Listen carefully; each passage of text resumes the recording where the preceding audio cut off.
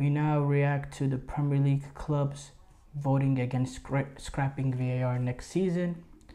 Now, you know, it's been widely known Wolves have, were the club that, um, you know, initially, we talked about this a few weeks ago, but today the voting happened.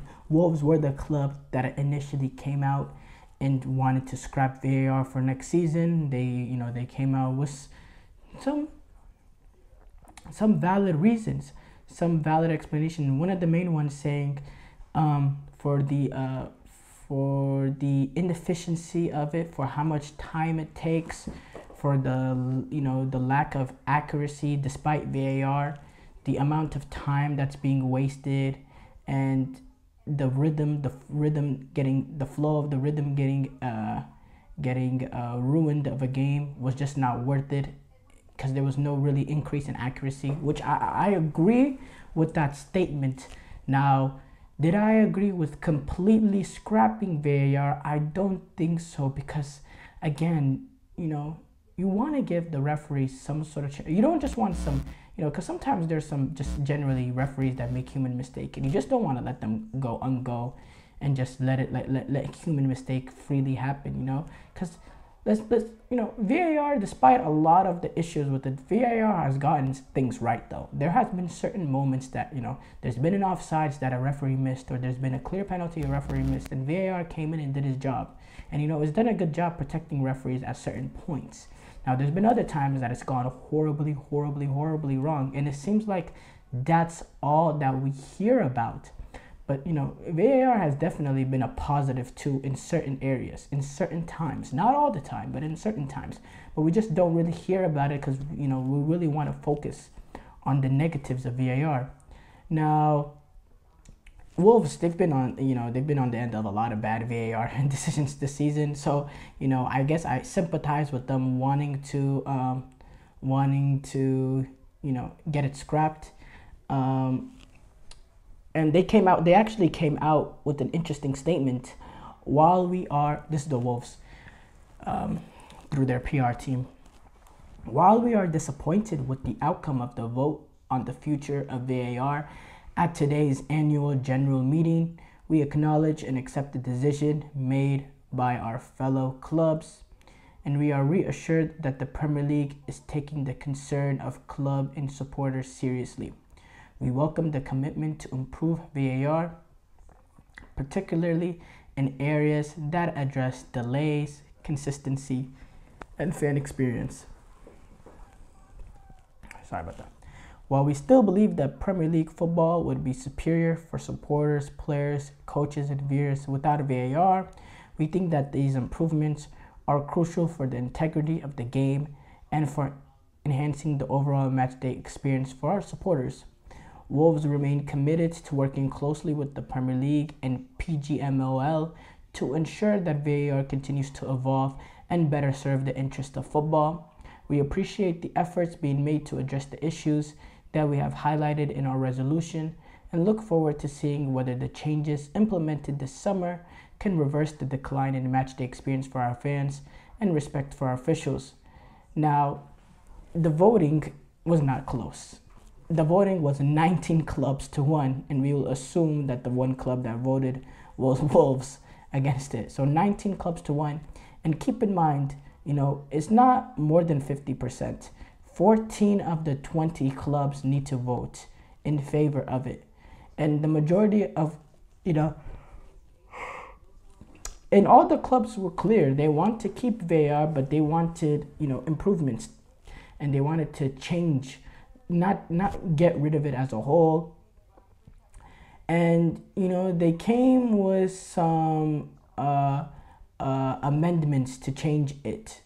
Um, uh, the Premier League and uh, the the PGMOL, they you know they've stated the improvements that are going to be made or that are needed to make you know to bet to make the game better.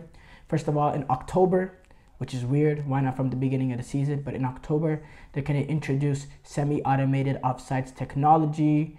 Um, that you know they're gonna you know with that they're gonna try to reduce the time it takes to you know check offsides, and they're gonna make announcements within the stadium when a when a decision is changed, you know, because of a VAR decision.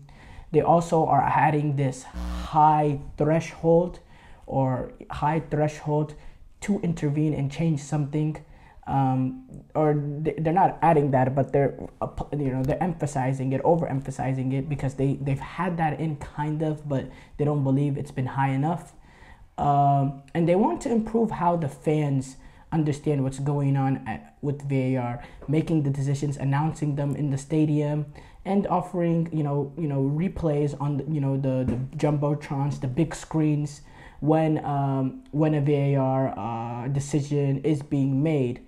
Now um, you know, and they and then most importantly, I think this is for me. This is what most importantly, they came out and talked about working with the PGMOL to create a more you know more thorough and robust training experience for any VAR official to improve the quality of calls being made and improving the length of time it takes to make a call while keeping everything accurate, which it hasn't been up to this point. But while keeping it, while making it accurate, they want to improve on how fast it is and they want to keep it consistent. They also want better communication from the VAR officials th- through the fourth officials and the referee and you know they're thinking about adding certain like you know certain extra programs like you know miking up the referees which is very very interesting. Um, all this is you know sounds good but at the end of the day you know it's all talk of nothing is actually implemented and we this needs to be implemented.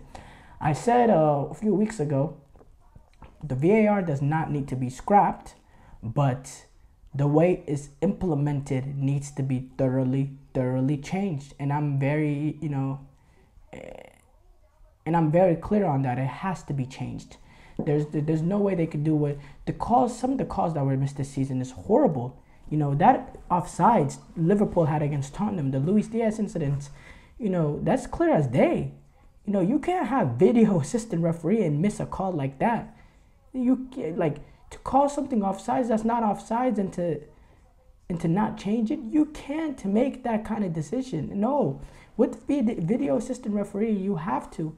Now the speed. Look, obviously, I don't want the flow of games being interrupted, but I think the number one right now, the Premier League are in a, you know they're in a position where, let alone the speed, they're not even getting things accurately. Let alone the speed. Now I've not been, you know, my concern has you know never been the speed. Obviously, I don't want the game to be slowed down and I want the flow to continue. But my biggest concern when it comes to VAR is the lack of accuracy. For, let for you know, the speed is also a problem. Don't get me wrong, but it's the accuracy that's a bigger problem for me when you're missing calls. Now, obviously, the speed and how long it takes to make a decision and the flow getting interrupted. Now, that's something that does need to eventually get improved. But I think you got to take steps in a time when it comes to improving certain things. And I think the main thing to improve is accuracy within within the decisions being made. I think there has to be a massive, massive improvement when it comes to that. Now, you know, you know, they did come out, they did come out with a six, you know, a six set plan on how to improve VAR. I said, you know, some of them, but I'm gonna replay, I'm gonna say them again. So this is they said they want to, you know, create a high threshold for VAR to come in and to make a decision. You know, they don't, you know, they want fewer interruptions in terms of how the game flows. So they want to have like they, you know, it needs to be like clear and obvious kind of in different ways. They want to have a higher threshold.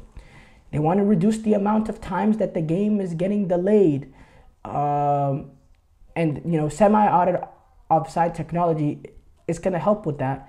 And, and, and, and they want to continue to make, you know, keep a high threshold for VAR intervention to reduce the amount of delays. Number two. Number three, they want to improve the fans' experience, including the fans within the stadium, by you know obviously uh, lowering the delays, but specifically making announcements within the stadiums from the referees when something is VAR, very similar to what they do with the NFL uh, pass interference with this guy, with this guy, or even the NBA to a certain extent. They want to do that within the game and they want the referees to say something through to the stadium while making the call. You kind of saw that at the Women's World Cup.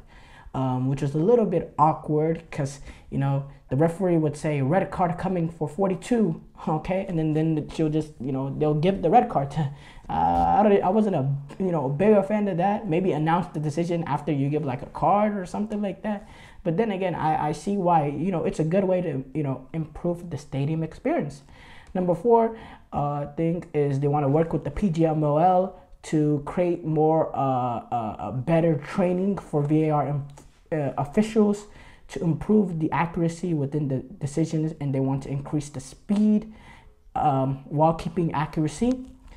Um, again, they want to increase the trans. Uh, number five, they want to increase the transparency and communication that's going on with VAR, including um, you know, you know, creating communication from you know the the Premier League Match Center all the way to the broadcasters. Um, you know, using like potential like miking up the referees.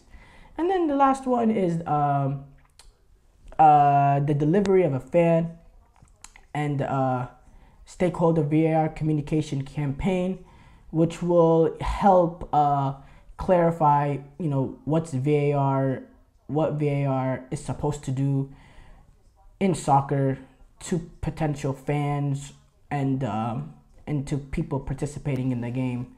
So, yeah, I mean, it seems like they have some sort of plan. Now, whether or not they implement it, that's the whole different conversation.